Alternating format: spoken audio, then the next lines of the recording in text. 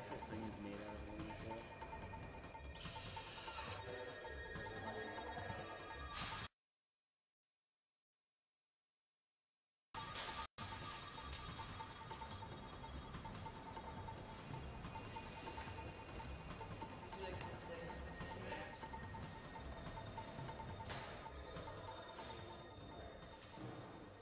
Η αναδρομική του Λουκά Σαμαρά εντάσσεται σε ένα πρόγραμμα που έχει ξεκινήσει το Ίδρυμα Ιωάννη Φεκοστόπουλου τη δεκαετία του 90. Με την λογική να δείξουμε μονογραφίες καλλιτεχνών με διεθνή καριέρα ελληνικής καταγωγής. Είναι η πρώτη μεγάλη αναδραμική του Λουκά Σαμαρά, σίγουρα στην Ελλάδα, αλλά νομίζω και στην Ευρώπη. Είναι μια έκθεση με 450 περίπου έργα, τα οποία έρχονται κυρίως από την Αμερική, από πολλά μουσεία, συλλογές από την καλερί του Σαμαρά και από πολλούς Έλληνες συλλέκτες. Στόχος μας είναι να δείξουμε όσο γίνεται πιο αντιπροσωπευτικά τις διάφορες περιόδους της ζωής του και του έργου του.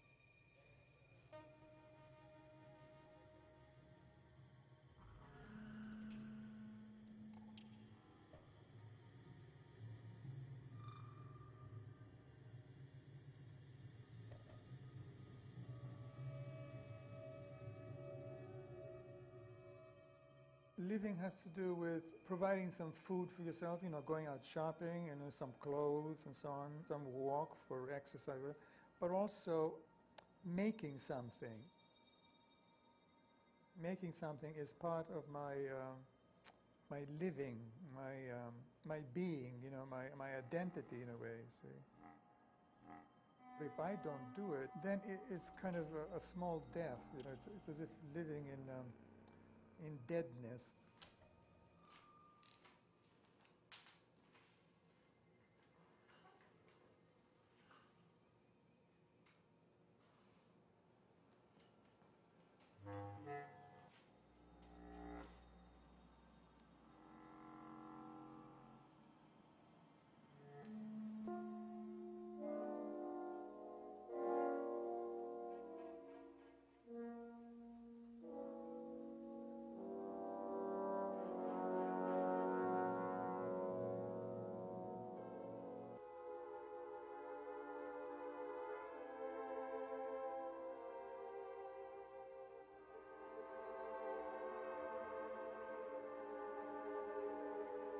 Lucas's genius is he can make a world. And that's a really hard thing, you know? But when you walk into a space or a gallery where Lucas has a show, he has made a world for you to enter. When he was living in the West 70s on the Upper West Side, I remember going in the kitchen, that tiny, tiny kitchen, out of which several decades of extraordinary work was created. The minute I was in that kitchen, I went, oh, this is the kitchen where that picture was taken. This is the kitchen where that picture, you know what I mean? It was almost impossible to tell where the art stopped and the life began. They were completely intrinsic to each other. Even at the kind of living room, you know, it was like a Lucas Samaras artwork. The couch he'd made, the table he'd made, the forks were Lucas Samaras's, some of the glasses were Lucas Samaras's. It was a real example of your work being your life. This is not a nine to five artist. And as the years went on and I would go and visit Lucas, there would be this amazing experience because we'd sit and eat in the kitchen or something, and then he'd show me the work.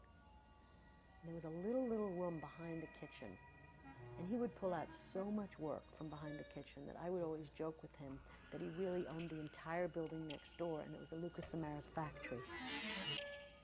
Ten times more work than other artists would be pulled out of what was, I don't know, I never saw inside that room, I don't know how big it was, but I always kind of thought of it as a magic room. In that magic room is the rest of Lucas's life.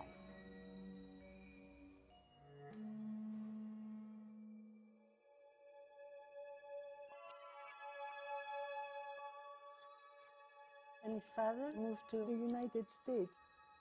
He was a furrier, and his mother was staying home. They were living with my uh, grandmother. I always thought my, my grandmother loved him so much more than me because of course he was a boy, and uh, he was the firstborn. In your work, there are very specific psychoanalytic themes. I mean, sex, death, sadism, masochism, voyeurism, but they're intentional. I mean, I don't feel that they're accidental. Let me approach it this way, which will seem to be perhaps a slight attack on you. I was waiting. But, okay, I grew up essentially in a house of women. And I was privy to the way they dealt with each other. So there was a lot of, you know, sadism and manipulation. They goosed me up with those things, you know. In the evenings with my family, we used to go to the top of the hill and we would look at the lights in the sky. And I had these sensations of being different than anybody else and not being able to communicate this difference. So, this aspect of difference was there was something huge, tremendous, unending, but I couldn't put my hand on it. I just was aware of, of something dark. So that eventually things came to me, and it was almost as if they were coming from, you know, sort of miles away. You know? It wasn't coming from me, it was coming from somewhere, somewhere behind my head, maybe.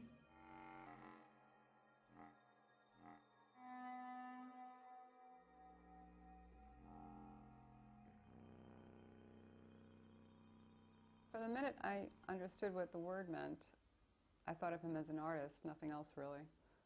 I never thought of him going into, you know, my father's line of work, being a furrier or doing anything else. And if you saw his room at that time, you'd probably think so too. but art also was not the same for me as it was for perhaps other people growing up. For me, artwork wasn't just oil paintings, it was also objects. It was fun in some aspects and very hard for me and others as a child because he would for instance, take my dolls and take the eyes out and put them in a piece. I remember him standing over our oven and melting down forks to use in his pieces or taking glasses and smashing them and using that in his artwork. People would come to the house and see some of his pieces and our relatives didn't know what in the world to make of this. And um, my parents really didn't either, but they were part of Lucas, so it was part of all of us. I think the first Samaras work that I saw was a pin box um, in 1961, probably, or 62. I immediately thought of Dadaist and Surrealist imagery, but there was something provocative uh, about it, uh, a kind of raw edge that was very American. It's a strange thing to say because he has Greek parentage, but you have to consider that no one in America is a pure American. But that kind of tough edge, that seduction that these pieces had, and the danger that came with the seduction was a new twist. He was um, withdrawn, hostile, difficult to communicate with. But there was something extraordinarily sweet about him. There was a sweetness under that surface, and it was, it was apparent to me in very little time that it was a facade, that it was a protective facade, like, you know, his objects protect what's inside.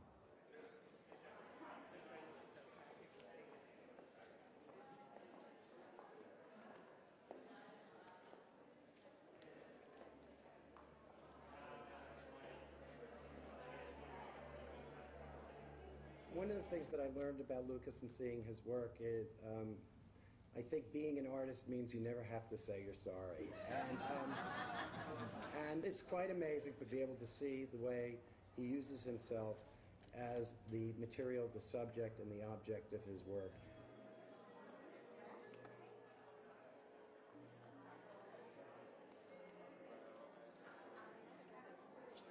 In college, there were lots of kids around, so you could always ask them to come and pose for you naked or with clothes, so that was easy. But then summers, they went away, I stayed, and you know, you'd end up not having anybody to paint, you know. So you'd have a mirror or something, so you said, hmm, let's try it out. And it was interesting. It was, um, uh, I liked it, you know. But also, that time, all the kids used to have Van Gogh uh, hanging in their bedrooms. And his idea interested me. I think he was the only one who was able to paint himself over and over and over again. And it looked like a fantastic product. Almost all artists did paint themselves, and often that part of their work had content that didn't exist in other aspects of the work. Whatever it was, I liked it.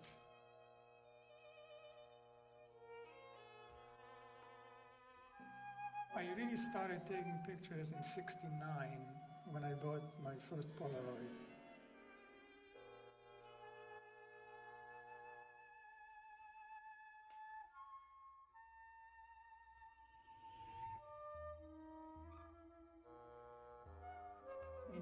1973, who came out with the SX70, and that's what they gave that camera to a number of people, and they gave one to me.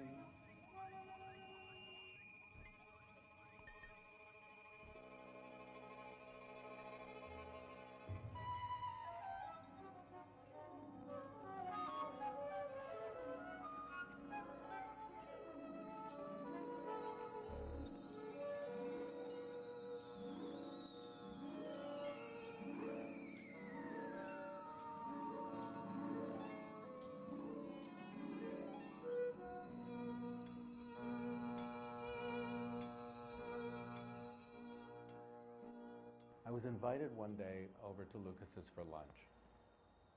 And I came over, and lunch was um, a salad, very nice green salad, and caviar and toast. And he was showing me a couple photographs that he took in a setting in his apartment that he had created, like a little theater with colored fabrics and lights. And he had photographed friends of his nude in that setting. I thought they were great. You know, I was very enthusiastic, and I was eating my caviar and salad. It was especially nice lunch. I, little did I realize I was being fattened up for the kill, right?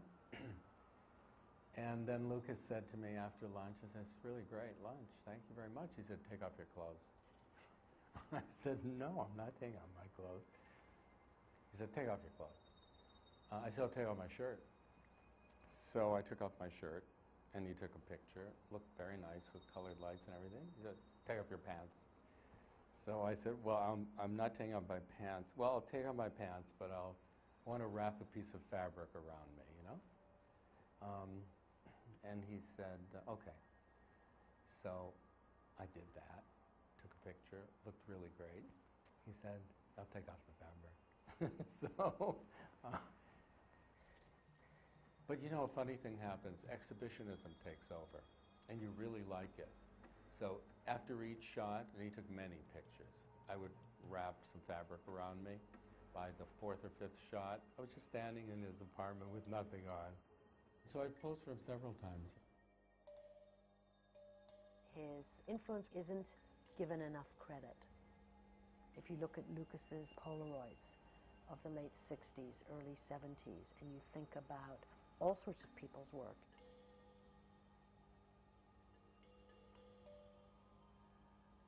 And you look at a bunch of work that kind of deals with the body and sexuality.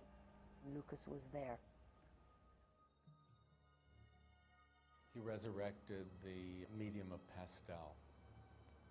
Pastel was dead with the Impressionists.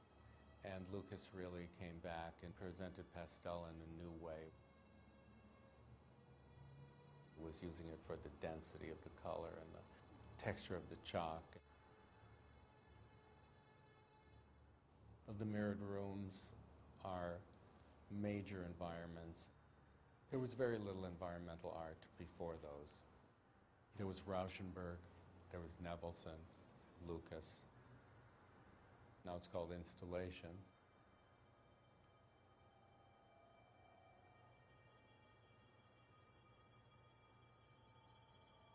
The installation of his bedroom was a pioneering act.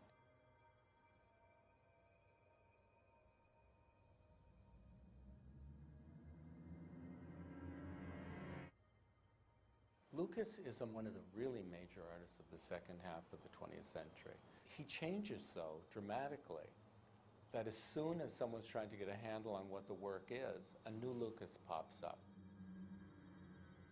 It was a challenge to respect my mind more than just being a slave to, to an invention. You know, it's like, okay, I did that yesterday and for a year and two. Now let me see what else can I do.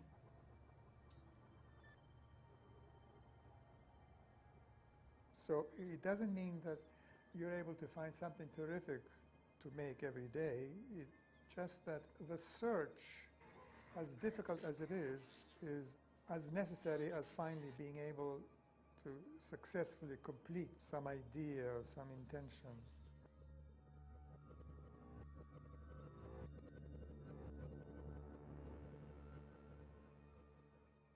As to the volume of work, it's not an indication of quality. You know, you hope it is, but it's not by itself. So I just happen to, you know, work continuously, and I end up with, you know, having a lot of stuff.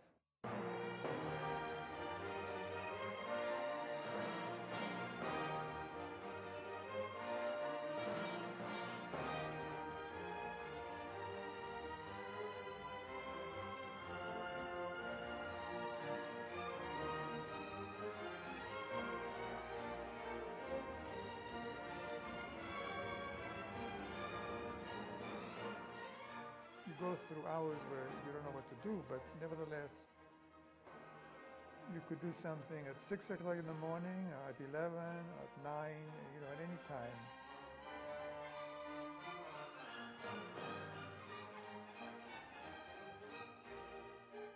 For me, it's more important now than being with somebody, spending time with somebody. See, I spend time with making.